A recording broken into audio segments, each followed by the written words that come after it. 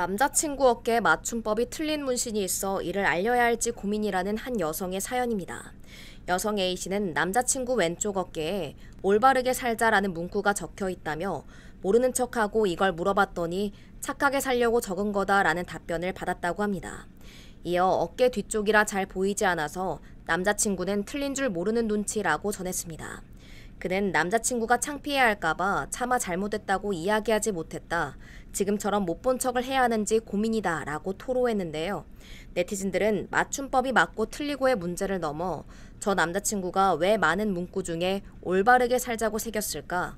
당시 그 상황을 의심해봐야 하지 않을까? 오타라 하지 않고 맞춤법 틀렸다가 맞는 것 같다.